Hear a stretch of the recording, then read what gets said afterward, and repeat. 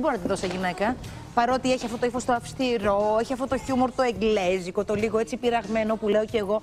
Νομίζω ότι κατά βάθος είναι ένα κορίτσι. Και κορίτσι θα μείνει για πάντα η Ένα Αθηναϊκή. παιδάκι. Μμμ. Παιδάκι πιο μικρό από τα παιδάκια. Ναι, Σου. ναι, ναι, ναι, ναι. Να σου πω, μια χαρά είναι. Εμένα μ' αρέσει και μ' αρέσεις πάρα πολύ. Μ' αρέσει ο τρόπος που χειρίζεσαι τα πράγματα που κάνει στη ζωή σου, τα εύκολα και τα δύσκολα. Ναι. Τα αντιμετωπίζεις όλα με ένα. Με χιούμορ, θα έλεγα. Καλά, μην νομίζεις δεν περνάω και δύσκολα. Ε, καλά, μέσα σου, μέσα μου, όλοι μας, ο καθένας το τι έχει. Κάτσε είναι να άλλη αυτό, ιστορία. γιατί έχω μια έλλειψη αυτοπεποίθησης τώρα λόγω μωρού και εγκυμοσύνης και όλα αυτά. Θέλω να Αλήθεια σου πω το ότι λες. δεν αισθάνομαι σούπερ. Ε, ε, ε, ποια γυναίκα δεν έχει;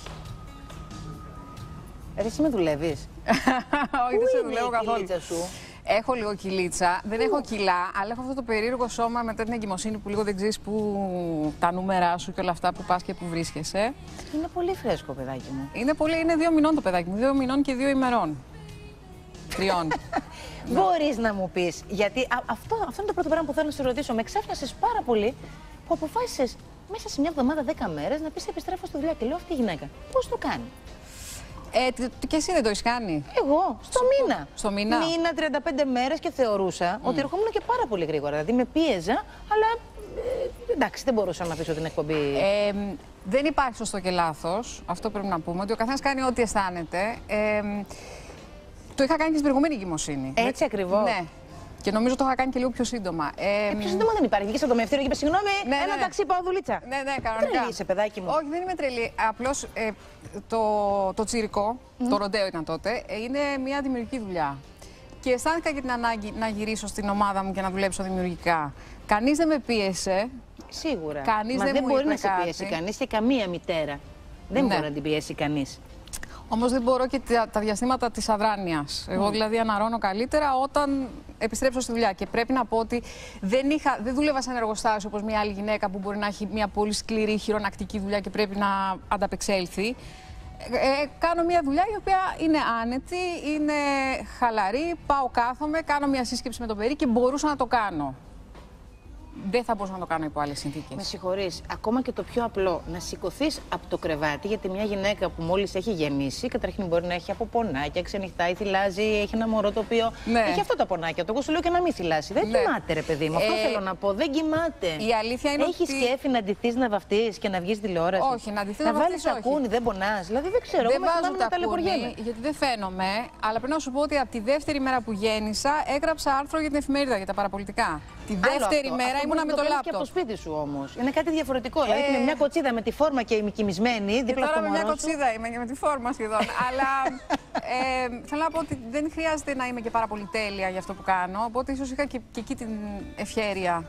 Δηλαδή, αν ήμουν ένα μοντέλο, ήμουν ένα κορίτσι που έπρεπε, ήμουν η δούκησα, ξέρω εγώ, δεν θα μπορούσα να, σ- να στηθώ και να βάλω μια βραδινή τουαλέτα. Ένα σακάκι, ξέρεις, είναι λίγο τα πράγματα Τώρα πιο εύκολα. είπες για τη δούκησα και έχω μια απορία. Γιατί και εσύ και η δούκησα. Α πούμε, Ναι. εγώ τη δούκησα δεν την έχω δει με κυλίτσα. Κατάφερε να περάσει όλο αυτό το διάστημα της εγκυμοσύνης σήμερα, χτες, μάλλον ή σήμερα το πρωί γέννησε. Εγώ δεν την είδα με κυλίτσα. Όπως δεν είδαμε και εσένα καλά-καλά, πρώτον και δεν έκανε κοιλιά και δεύτερον γιατί μας είπες, μας το είπες ότι είσαι έγκυο. Μπορεί και ένα μήνα πριν γεννήσεις. Ένα μήνα πριν μέρες, δεν γεννήσω, ξέρω. ναι, δηλαδή, ναι, ναι. Και εγώ τα έχασα, λέω, είναι έγκυο. Χειροκροτούσα σπίτι μου. Μπράβο, ρε, λέω, μπράβο, μ' αρέσεις. Εγώ δεν φαινόμουν έγκυο. Μέχρι τον 7ο μήνα και. Δεν φαινόμουν ούτε στο πρώτο παιδί ούτε σε αυτό. Και ήταν λίγο περίεργο, δηλαδή και στους γιατρούς έκανε εντύπωση. Δεν, δεν ξέρω, μεγαλώνει μπροστά μου, δεν ξέρω τι γίνεται. Ε, οπότε δεν το έκρυψα, δεν έκρυψα κάτι. Μα δεν είπα ότι το έκρυψες. Απλώς δεν ήθελα να το συζητάω γιατί βαριέμαι. Πες μου λίγο, αυτό, αυτό, έλα, έλα, πάμε να το συζητήσουμε. Τι βαριέσαι, μωρέ, θα με τρελάνεις; Βαριέμαι. Τι βαριέσαι; Ε, κανονικά, σκέψω ότι ήμουν από πέρυσι έγκυος στην πραγματικότητα. Δηλαδή, από πέρυσι που κάναμε το ροντέο, εγώ ήμουν έγκυος από την Άνοιξη. Λοιπόν, δεν είμαι άνθρωπος που θα κάτσω να το συζητήσω πάρα πολύ. Δεν θέλω να εξηγώ ότι έχω ναυτία σήμερα, ότι δεν αισθάνομαι καλά. Μου περνάει πιο εύκολα αν δεν το συζητάω. Και το πέρασα έτσι, όπως και στην προηγούμενη εγκυμοσύνη. Και εσύ έχεις περάσει τέτοια εγκυμοσύνη όπου δεν το συζητούσες το θέμα. Μην μου κάνεις την ανοίξερη. Εγώ, ε, οι λόγοι μου ήταν πολύ συγκεκριμένοι και αφού το γέννησα, τους είπα. Εγώ φοβόμουν. Ανησυχούσα Κι εγώ πάρα φοβόμουν, πολύ. κι Εγώ δεν εγώ πίστευα ανησυχούσα. κάθε μέρα ότι ε, συνεχίζω. Κι εγώ. Τέτοιες ανησυχίες. Και εγώ γιατί Και μετά. δεν ήθελα μετά να το μοιραστώ ότι τη στεναχώρια μου, γιατί εκεί δεν περνάει με τίποτα η στεναχώρια. Όσο το συζητάς. Εγώ είμαι της άλλης. Θέλω να το ξεχνάω. Ναι. Νομίζω ότι και εγώ θέλω να το ξεχνάω. Δεν ήθελα πάρα πολύ να το συζητάω και είναι πάρα πολλές ερωτήσεις που σου γίνονται όταν είσαι έγκυος. Μην κάνετε τόσες ερωτήσεις όλες τις εγγύου, γιατί μπορεί να μην αισθάνονται πολύ άνετα με Έτσι. αυτό. Ε, και εγώ είχα μια ανησυχία που δεν είχα στην πρώτη εγκυμοσύνη, γιατί το παιδί τώρα το έκανα στα 44 και δεν, δεν είχα κάνει καμία διαδικασία για να μείνω έγκυος. Έμεινα έγκυος. Μπορείς να μείνεις έγκυος μετά τα 40. Μπορείς. Μπορεί να συμβεί και χωρίς εξωσωματική. Εγώ δεν, δεν, είχα, δεν θα είχα το κουράγιο να κάνω εξωσωματική. Θαυμάζω πάρα πολύ τις γυναίκες που το κάνουν, αλλά εγώ δεν θα Μπορείς μπορούσα. και από ό,τι λένε και οι γιατροί, όταν έχεις κάνει ήδη ένα παιδί πριν από τα 40, είναι πολύ πιο εύκολο να κάνεις το επόμενο. Ε, έχεις αποδείξει και τη γονιμότητά σου. Αλλά και οι γυναίκες που δεν έχουν κάνει παιδί Πάλι καταφέρνουν. μπορούν. Οπότε να, το, να τα λέμε και Σαφέστατα. αυτά, Ναι. γιατί πια υπάρχει ένας τρόμος και ένας φόβος ότι. Αισθάνθηκες, δέχτηκες καθόλου αυτό που λέμε; Κάποια, κάποια κακά λόγια, κάποια κριτική που δεν αφορά κανένα γιατί έχει να κάνει με σένα και με το μωρό σου. Αν θες να κάνεις μωρό, κάνεις μωρό. Δεν θες, δεν κάνεις. Δεν έχει να κάνει με τη δουλειά δηλαδή. Ε, επειδή δεν το είπα, ε, λίγο νομίζω ότι μου διάσα όλη αυτή την κατάσταση που θα ήταν πιο έντονη αν το είχα μοιραστεί. Θα σε ενοχλούσε αν είχες ακούσει κάποιον να Μπορεί. σε κριτικάρει γι' αυτό; Μπορεί. Μην Θα κάνω την απαντούσες, έξυπνη. πιστεύεις; Μπορεί. Ε, υπήρχαν άνθρωποι από το στενό μου κύκλος συγγενείς μου που ενοχλήθηκαν επειδή δεν το είπα. Δηλαδή, οι άνθρωποι μπορεί να ενοχληθούν για οτιδήποτε. Δεν το, δεν το κάνουν με κακία. Απλώς νιώθουν ότι αν δεν τους βάλεις αυτό, και αυτό μπορεί να τους ενοχλήσει. Τα πάντα μπορεί να ενοχλήσουν. Αλλά κάνω κάτι που είχα ακούσει εσένα να το λες, ότι δεν ακούω κανέναν. Μμ. Γιατί αν ακούς, δεν νομίζω ότι μπορείς να προχωρήσεις. Και σπαταλάς πάρα πολύ χρόνο και πολλή ενέργεια, οπότε ναι, νομίζω δεν πρέπει να ακούς. Δεν ξέρω τι είναι σωστό, μπορεί να έχω κάνει πολύ μεγάλο λάθος με το τι έκανα ένα παιδί και το έκανα όπως το έκανα και παντρεύτηκα κάποιον πολύ νέο. Δεν ξέρω. Αχ, δεν πιστεύω να μου λες τέτοια τώρα. Όχι, απλώς λέω ότι δεν μιλάω θέλω... με άλλη γυναίκα, μιλάω με τη Όχι, γυναίκα ρε, που παιδί μου. διαβάζω και γελάω με τα κείμενά της. Πώς μπορείς ακόμα και σένα και τον εαυτό σου να του κάνεις πλάκα; Δηλαδή όλα τα αντιμετωπίζεις με ένα χιούμορ και εμένα μου αρέσει. Είναι ο τρόπος που έχω, όλοι έχουμε έναν τρόπο. Δηλαδή πολλές φορές σε διαβάζω και λέω, ε, για- όταν γράφεις για σένα, λέω ρε παιδιά, αλήθεια λέει. Ε, Δεν μπορεί να τα γράφει αυτά, δηλαδή δεν γίνεται. Δηλαδή, πώς να σου πω, με κάνεις και γελάω, αλλά λέω δεν είναι δυνατόν, δεν μπορεί. Είμαι αδέξιος άνθρωπος, είμαι αδέξια. Και ε, εντάξει, το χιούμορ μου είναι ο τρόπος να τα αντιμετωπίζω. σε έχω στο μυαλό μου για πιο δυναμική γυναίκα. Όταν μου αφήνεις έτσι λίγο υπονοούμενο τύπου ότι. Ε, Α πούμε, επειδή έχω διαφορά με τον άντρα μου, δεν μου φαίνεται ότι μιλάω με σένα. Πώς να σου πω, δεν, Δεν, μου μπορώ, φαίνεται. δεν μπορώ, επειδή ε, μιλάμε και δημοσίως και αισθάνομαι μερικές φορές ότι κάποια πράγματα και εγώ τα δημοσιοποιώ γιατί το ότι είμαστε, εγώ δεν είμαι, διά, είμαι ανα- σχετικά αναγνωρίσιμη ας πούμε, έτσι. Ε, ότι κάποια πράγματα για τη ζωή μου Σε ξέρει ο κόσμος όλος στην Ελλάδα. τα μοιράζομαι επειδή νομίζω ότι πρέπει και λίγο να μιλάμε για τον εαυτό μας. Διαφορετικά η δημοσιότητα δεν έχει αξία. Δηλαδή αυτό το πράγμα που υπάρχει στην Ελλάδα και δεν υπάρχει στο εξωτερικό, που αρρωσταίνουμε, περνάμε περιπέτειες και ποτέ δεν λέμε τίποτα επί της ουσίας. Πάντα δηλαδή οι, οι διάσημοι Έλληνες μιλάνε πολύ προστατευμένα για τη ζωή τους. Νομίζω ότι είναι λάθος. Ότι Απ' την άλλη, όμως, Έχουμε αποκλείεται μια να δεχτούν υποχρέωση. πιο πολύ κριτική γι' αυτό. Ότι καλά, πια μας έχετε τρελάνει και εσείς τι νομίζετε, ότι μόνο εσείς μας ενδιαφέρετε τι κάνετε, πώς το κάνετε, αν αδοστήσετε, αν είσαστε καλά; όχι ρε παιδί μου, Γιατί παίζει και αυτό στη χώρα αυτή. Υπάρχει ένα μέτρο, αλλά αυτό που έχει σημασία και που μπορείς να κάνεις με την, ε, με την διασημότητα, με το ότι είσαι αναγνωρίσιμος, είναι λίγο να μιλήσεις για κάποια θέματα. Γιατί αν εγώ έχω ένα πρόβλημα και το δημοσιοποιήσω και το συζητήσω, μπορεί να βοηθήσω μια γυναίκα ή έναν άντρα που έχει το ίδιο να πει «Α, νομίζω ότι είναι καλό μια γυναίκα που λέει έκανα παιδί μετά τα 40 και ρε παιδιά γίνεται». Έχει ένα νόημα. Ή ξέρω εγώ, εγώ έκανα γυμναστική μέχρι το τέλος της εγκυμοσύνης μου γιατί μπορούσα. Θα μπορούσα να μην μπορώ. Το έβγαλα στο Instagram. Έκανα προημερών γυμναστική με το μωρό. Το έβγαλα στο Instagram γιατί είναι κάτι που μπορείς να κάνεις και μπορείς να επανέλθεις. Θέλει λίγη προσπάθεια, αλλά μπορείς να τα καταφέρεις. Οπότε νομίζω ότι έχω και λίγο την υποχρέωση να το κάνω αυτό. Σε κοιτάζω και σε ξανακοιτάζω.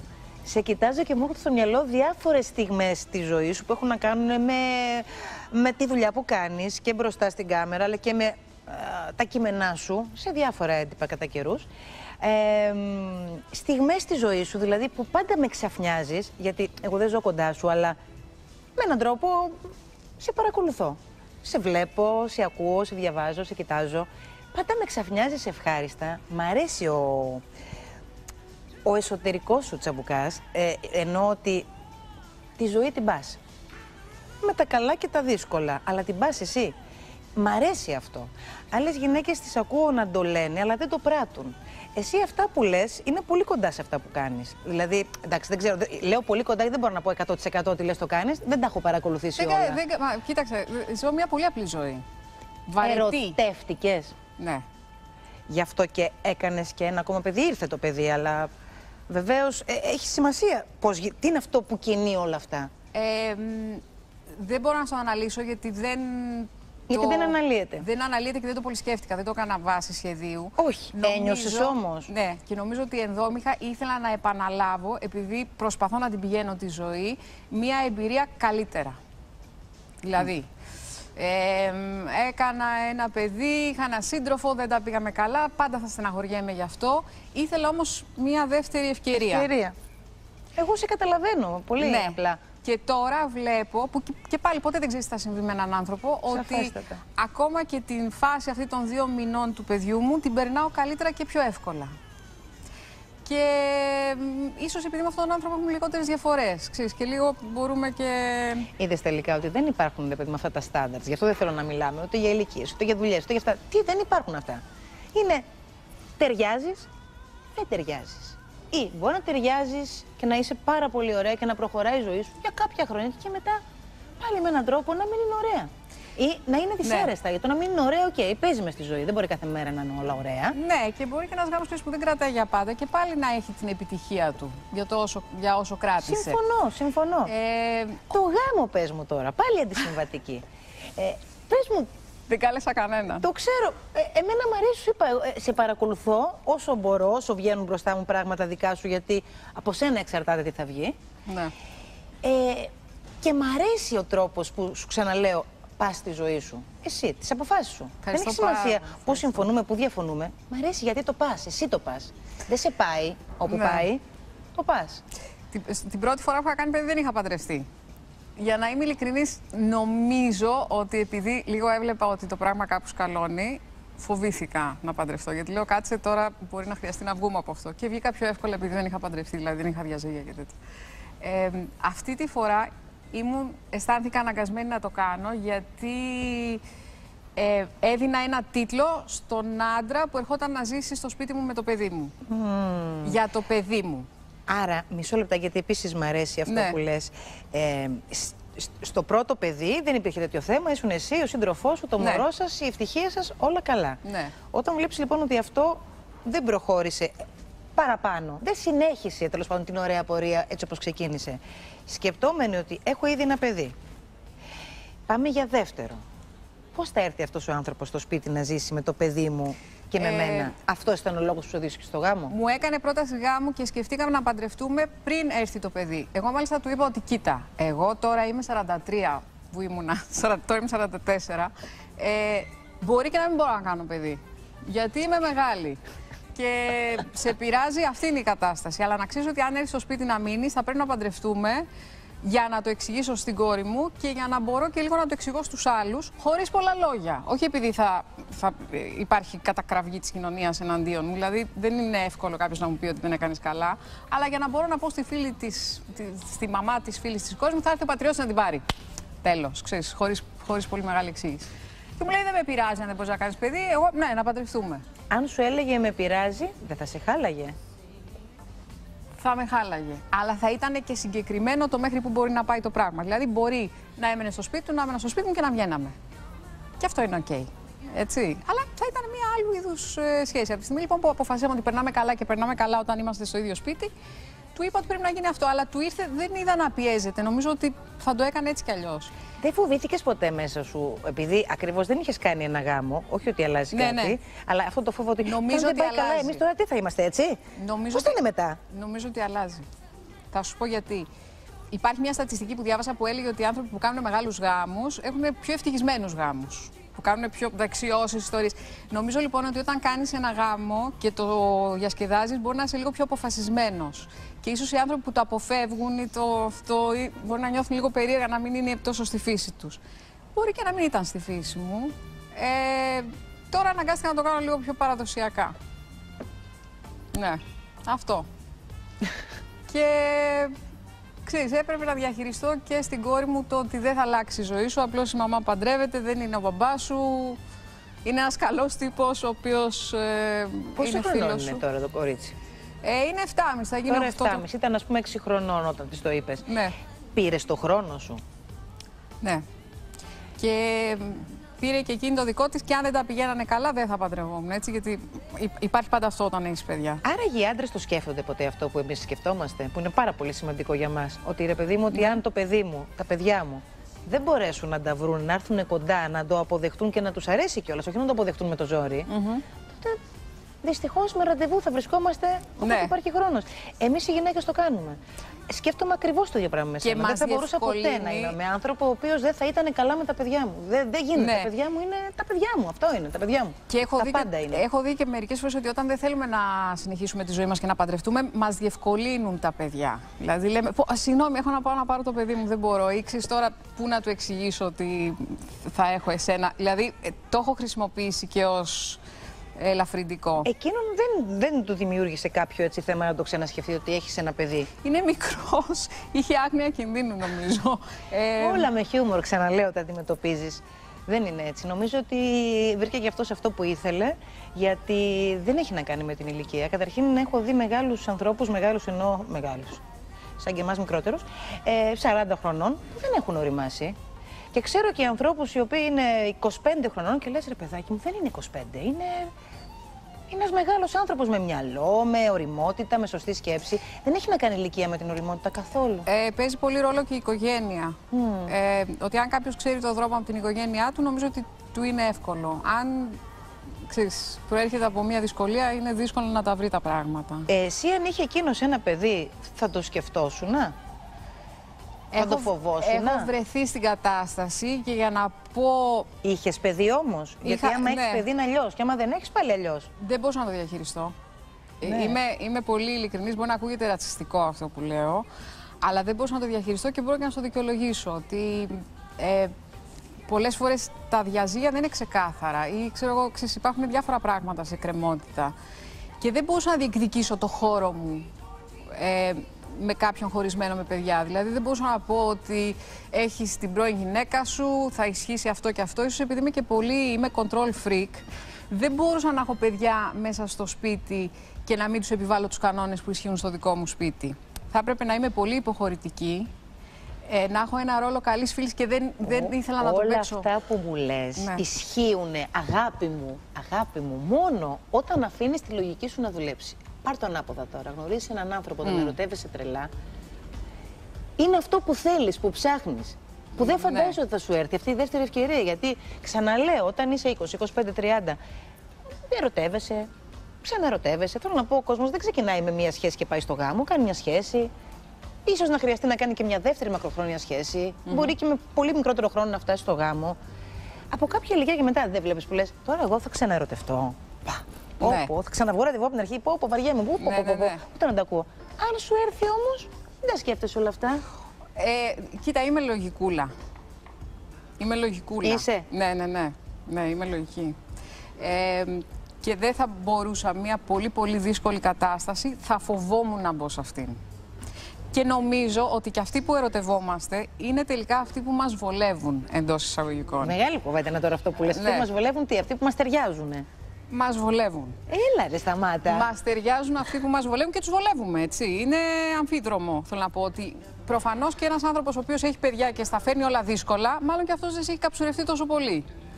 Μάλλον και το ότι τα παιδιά του έχουν μία αντίσταση. Και αυτό κάτι σημαίνει. Θέλω να πω ότι όταν τα πράγματα είναι να ταιριάξουν, κάπως γίνεται ένα κλικ και όλα πάνε μια χαρά. Όταν δεν είναι, όλα να είναι τέλεια, δεν γίνεται τίποτα. Λοιπόν, πάντως εμάς και το θέμα μας που θα συζητήσουμε λίγο αργότερα με την ε, Τζιλ Δούκας ε, είναι αυτό. Σας το έλεγα και στο ξεκίνημα της εκπομπής.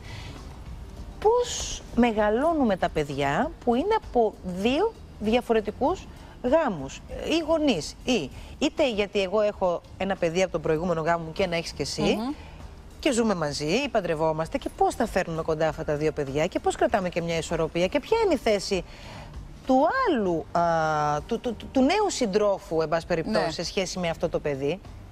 Αλλά υπάρχει και το άλλο. Έχεις ήδη ένα παιδί και κάνεις ένα δεύτερο με τον καινούριο σύντροφο σύζυγο. Πώς τα φέρνεις κοντά, Δηλαδή, σε αυτό το κομμάτι ε, είμαστε στο ίδιο κομμάτι. Έχουμε τη μία πλευρά. Δηλαδή, έχουμε, εγώ έχω τρία παιδιά από τον πρώτο γάμο. Ένα από το δεύτερο. Εσύ ναι. ένα από το πρώτο, ένα ναι. από το δεύτερο. Ναι. Αυτά είναι αδέρφια. Πώς έρχονται κοντά, Ποιος είναι ο ρόλος του γονιού; Και του γονιού που έχει και τα δύο παιδιά και του έτερου, εκείνου που έρχεται και δημιουργείται το δεύτερο. Εσύ να μας πεις, εσύ το έχεις κάνει το θαύμα. Στη δικιά μου ζωή το θαύμα το έκανε ο Μάκης, δεν το έκανα εγώ. Διαφημίσεις.